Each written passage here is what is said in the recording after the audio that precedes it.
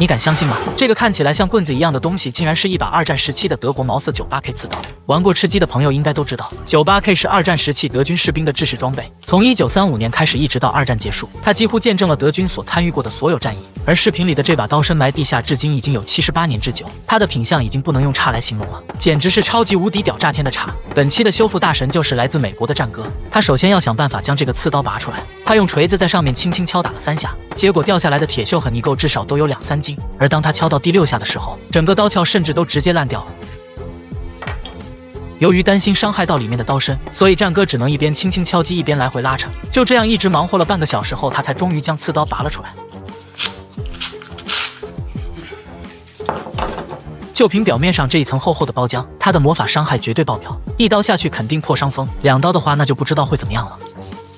再看这个刀鞘，它的外壳已经烂成了渣，但好在里面的鸦片弹簧还是好的，还有修复的价值。而且在战哥的收藏里，他刚好有一个同款刺刀的刀鞘，这可真的是太巧了。不过这个刀鞘的品相也不算特别好，所以战哥要先对它进行修复。他取出一个玻璃缸，将刀鞘放了进去，一看这个操作就知道他要进行化学除锈了。不过他所使用的除锈剂是他自己现场配置的，倒入一些柠檬酸粉末，再加入一定比例的热水，等它完全融化后再倒进玻璃缸里。可以看到这个除锈反应还是非常迅速的，只需要浸泡几个小时就可以得到很好的除锈效果。而趁着等待的时间，战哥先回头处理这个鸦片弹簧。可以看到上面还有一节原来的刀鞘残片。战哥通过热处理的方式将它拆了下来。弹簧上的锈迹一看就是沉淀了几十年的老包浆。要想快速除锈，那就只能进行喷砂了。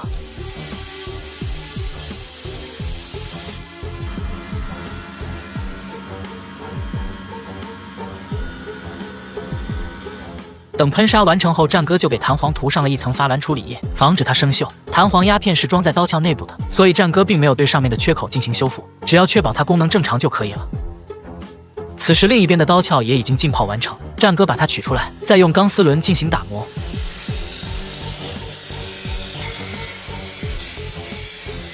可以看到上面的锈迹已经被清除的很干净了。接着战哥给它涂上了一层灰色的焊料膏，就如同刮腻子一样，将上面细小的坑洞先填补起来。焊料膏的主要成分是锡，经过加热后就可以起到很好的修复效果。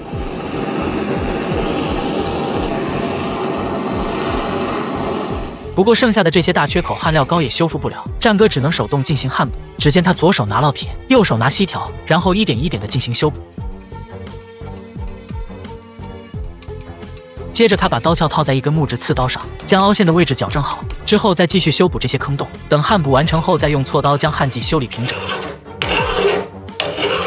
之后再来看这个刀鞘，真的是非常漂亮。接着准备一坨原子灰和固化剂，等搅拌均匀后再涂抹在刀鞘上。因为刀鞘表面的坑洼比较多，所以战哥给它涂得很厚。之后再用砂纸将它打磨光滑。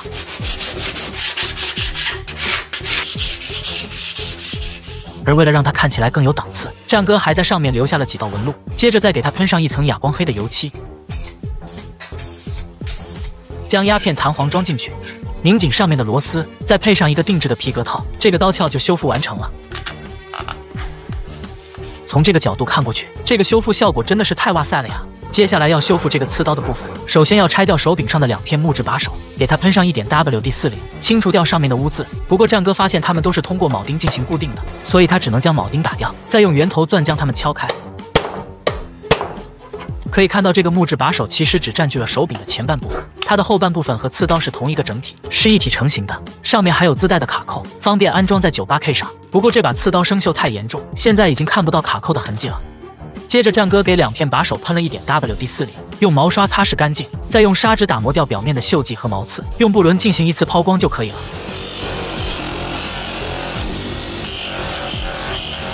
这个凸起的部分就是手柄上的弹簧卡扣，战哥想通过热处理的方式把它拆掉，可结果它一点反应都没有，所以战哥只好同样用台钻将它打掉，取下上面的铁块，取出弹簧。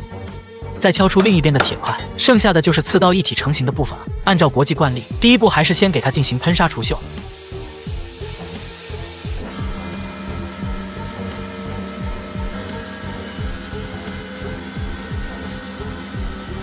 现在这把刺刀就变得非常干净了，但它看起来显得有些瘦小，而且上面还有很多明显的缺口。于是战哥先用亚弧焊对它进行修补，一方面是为了把缺口修补起来，另一方面也是为了将边角加宽。不过这个过程需要反复操作很多次，先焊接，再打磨，再焊接，再打磨，直到它最后变成视频里的这种样子。战哥现在打磨的这个位置就是刺刀上的凹槽，由于它的功能太过凶残，我在这里不方便介绍的太多。如果有懂行的朋友，可以在评论区里做一些补充说明。接着再用同样的手法将手柄的位置修补起来，用锉刀打磨平整之后，再用布轮进行抛光。眼尖的朋友可能已经看到了，在刀身上还是有一些明显的坑洼，这其实和战哥的修复风格有关系。他想要的是尽量保留这些老物件的原貌，而不是把它们修复成另一件全新的东西。有的人在意修旧如旧，保留原貌，而有的人则更在意修复后的样貌和功能，一定要达到最好的状态。接着，战哥也给刺刀涂上了发蓝处理液。等它晾干后，这个刀身部分就修复完成了。原来的小螺丝和弹簧已经无法使用，所以战哥直接都换成了新的。等一切准备就绪，接下来就可以进行组装了。先将两块木质把手安装在手柄上，把上面的螺丝拧紧，再将尾部的弹簧卡扣安装到位，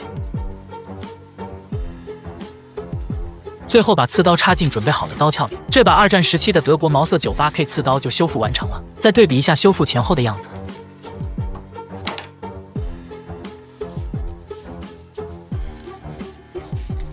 大家觉得这个修复效果怎么样呢？好了，今天的视频就到这里，喜欢的朋友不要忘了给战哥点个赞哦。你敢相信吗？这个看起来像棍子一样的东西，竟然不是棍子，而是一把二战时期的德国毛瑟 98K 刺刀。相信玩过吃鸡的朋友都知道，98K 是二战时期德军的制式装备，它几乎见证了德军所参与的所有著名战役，绝对是经典中的经典。而视频里的这根棍子就是 98K 最好的搭档，98K 刺刀。不过这把刀已经深埋地下七十多年，到现在就只剩下九成新了。而本期的修复大神就是特别喜欢修复刀具的天哥，他刚才已经尝试过，发现刀身和刀鞘之间已经完全锈死，所以他必须想办法把刀给拔出来。先用工具将刀鞘上的包浆都清理掉。从这个角度看过去，这些刮下来的泥土至少有三斤吧。接着天哥再用钢丝刷对刺刀进行一次深度清理，这是为了将上面的污渍彻底擦干净，整理一个基本的工作面出来。之后他又取出一瓶 WD 四零，将它喷在刀身与刀鞘的连接处，除锈剂可以让锈死的位置变得松动，这样天哥就可以用锤子将它们分开了。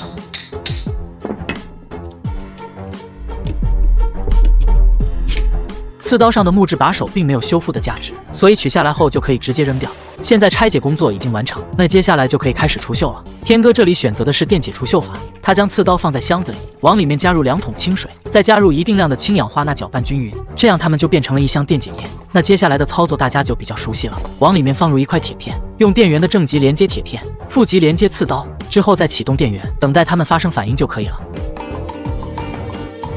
就这样过了三十六个小时后，除锈反应已经完成。那接下来就可以对刺刀进行清洗了。因为这一次反应的时间比较长，电解法能起到很好的除锈效果，所以这里天哥只是用牙刷轻轻擦拭了几下，这把刺刀看起来就已经是非常干净了。但因为它经过了七十多年的锈蚀，所以有些部位的连接件已经完全锈死，比如这两颗铆钉，天哥选择了用电钻将它们直接打掉。再比如尾部的固定卡槽里还有很多锈渍，需要喷上除锈剂才能把它们敲出来。而最难处理的就是这个卡榫了，它原本是将刺刀固定在步枪上的卡扣，但现在已经和刺刀融为一体了。天哥先用喷枪对它进行加热，希望能通过热处理的方式将它取下来。可结果证明这种方法根本行不通，于是天哥也不再客气，直接选择了用电钻对其进行暴力拆卸。他先在卡榫的螺帽上打两个孔，然后就用钳子将螺帽给取了下来。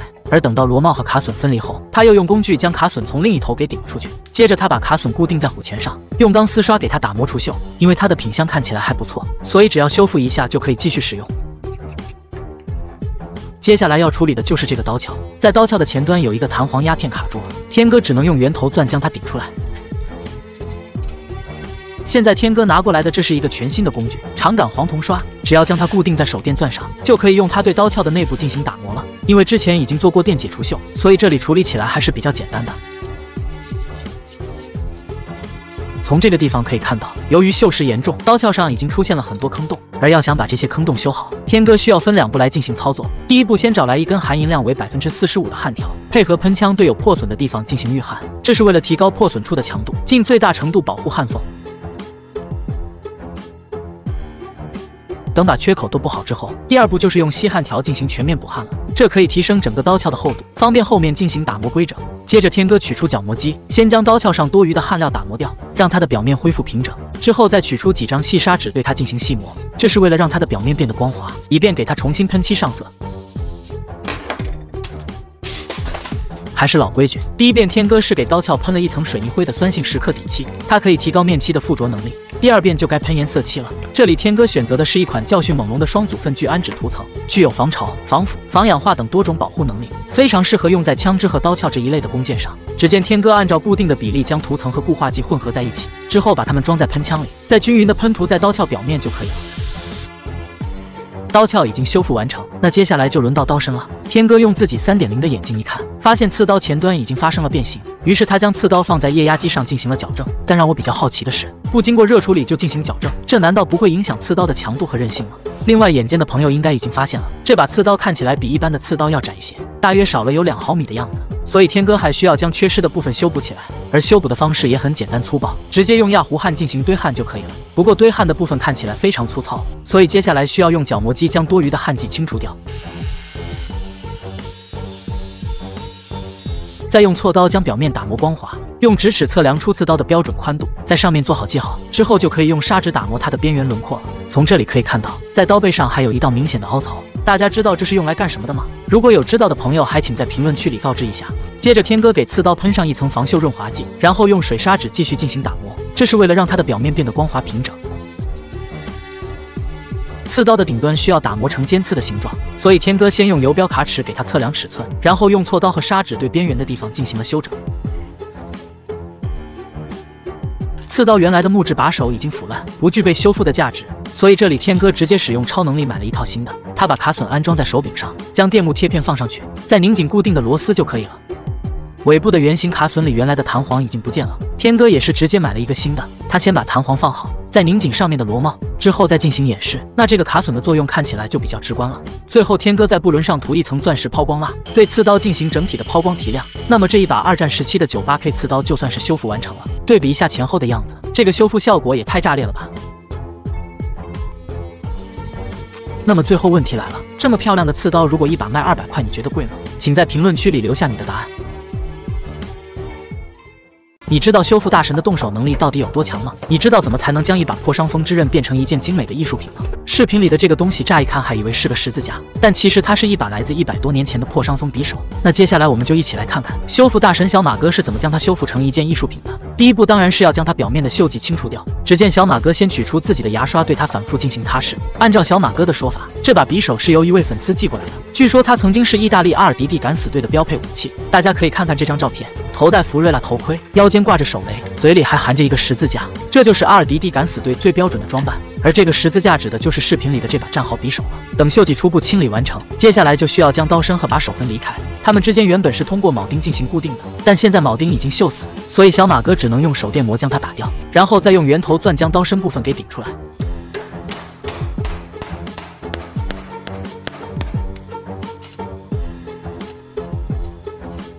这就是它们分离之后的样子，可以看到表面的锈蚀非常严重，所以接下来小马哥要用喷砂工艺来给它们除锈。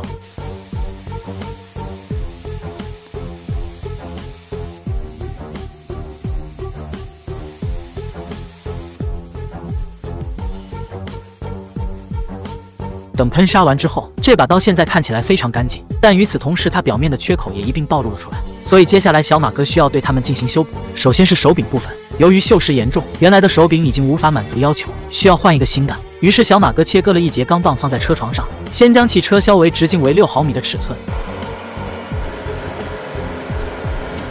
等车削完之后，再用板牙给它套丝。不过这些螺纹的存在并不是为了固定螺帽，而是为了方便下一步的锻打。只见小马哥先将钢棒放到锻造炉里加热至通红，之后就把它放到了羊角针上进行锻打。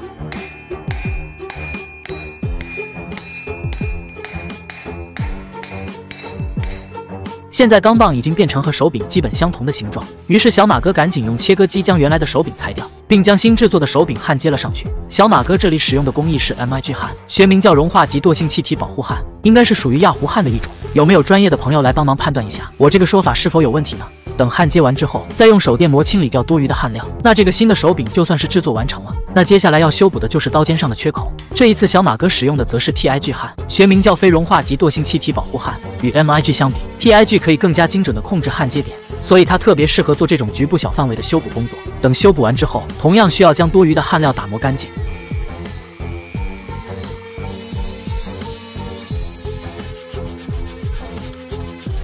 而等他做完这一步，缺口的修补工作就算是做完了。但经过修补后，刀身的强度和硬度已经大不如前，所以接下来小马哥还需要对它进行一次淬火处理。先把它放到电炉里进行加热，这个过程大概需要持续二十分钟。而趁着等待的时间，小马哥又在旁边准备了一个桶，再往里面倒入一桶亚麻籽油。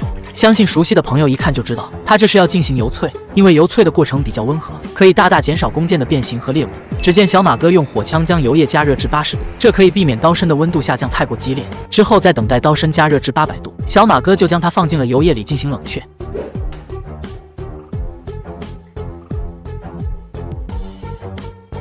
这就是刀身淬火之后的样子，一看就知道非常坚硬。那接下来就该处理它的表面了。小马哥先用砂纸对它进行打磨，以便清除掉加热后所形成的氧化痕迹。之后他再将工作台翻转过来，露出另一面的砂轮机，用它来给刀身进行开刃处理。看完这个操作后，我不得不承认，小马哥的这一套设备是真的很让人眼馋啊。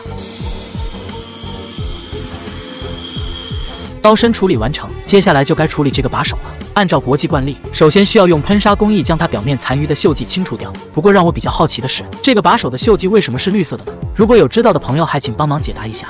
喷砂会在弓箭表面留下一层淡淡的磨砂纹路，再搭配这个黄铜的颜色，看起来真的是非常的有质感。不过其中的一个护手上还有一个缺口，所以小马哥同样需要将它填补起来。只见小马哥先用钢丝绒清理掉表面的毛刺，再用手电磨将缺口的内部打磨平整，用风枪将碎屑都清理干净，之后就可以开始焊补了。小马哥这里选择的是锡焊，他先用喷枪对护手进行预热，再给锡条蘸上助焊剂，对缺口的位置进行修补。